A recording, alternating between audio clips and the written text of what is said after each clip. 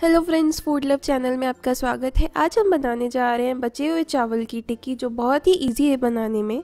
इसे बनाने के लिए हमें एक कप राइस चाहिए, उबले हुए राइस इसे एक बाउल में निकाल लें और इस तरह से हाथ से अलग अलग कर लें। फिर इसमें तीन छोटे आलू ऐसे हाथ से मैश करके डाल दें। आप चाहे तो आलू को कद्दूकस भी कर सकते हैं। अब चावल और आलू को अच्छे से मिक्स कर लें।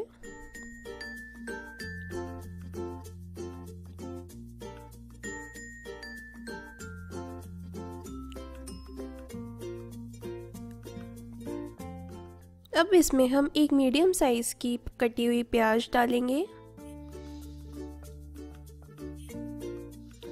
दो हरी मिर्ची या एक हरी मिर्ची आपको जितनी पसंद हो, जितना तीखा पसंद हो और इसमें हम तीन छोटे चम्मच कॉर्नफ्लोर डालेंगे।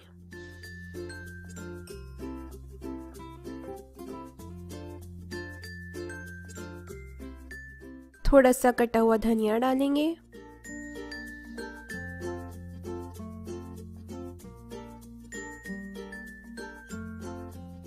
आधा चम्मच चाट मसाला डालेंगे। थोड़ी सी हल्दी सिर्फ़ कलर के लिए। नमक स्वाद अनुसार।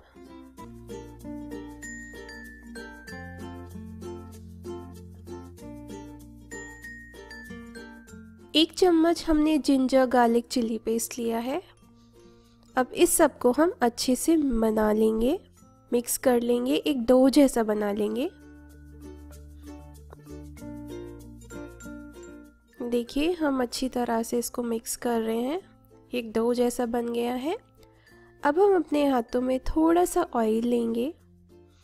इस तरह से अपने हथेलियों को पर ऑयल लगा लेंगे और मिक्सचर का थोड़ा सा पार्ट लेके गोल गोल टिक्कियाँ बनाएँगे।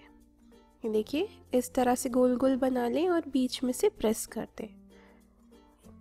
इस तरह से आप एक लेमन साइज़ बॉल एक छोटा सा मुट्ठी के आकार, जैसे हम आलू का पराठा भरते हैं उतना मिक्सचर लीजिए और इसकी इस तरह से गोल गोल टिक्कियाँ बना लीजिए। ये देखिए, हमने सभी मिक्सचर का ये गोल टिक्कियाँ बना ली हैं। अब हमने एक तवा रखा है गैस पे गरम होने के लिए। ये तवा गरम हो चुका है, अब इस पर हमने तेल लगाया है, थोड़ा सा सीज़न किया है। हमने यहाँ कास्ट आयरन पैन यूज़ किया, आप कोई भी तवा यूज़ कर सकते हैं। नॉन स्टिक यूज़ करेंगे तो उसमें और भी कम ऑयल लगेगा। अब इस तरह से आप सारी टिकियाँ तवे पर रख दें। अब यहाँ पे हमने एक स्पैचुला की मदद से टिक्कियों को थोड़ा सा प्रेस किया है ताकि वो थोड़ी सी और पतली हो जाए और अच्छे से सिक पाए।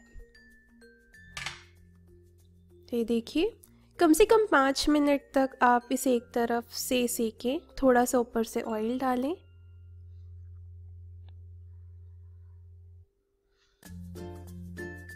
आँच मीडियम रखें, तेज़ ना रखें और चाहे तो आप इसे हल्की गैस पर भी सेक सकते हैं।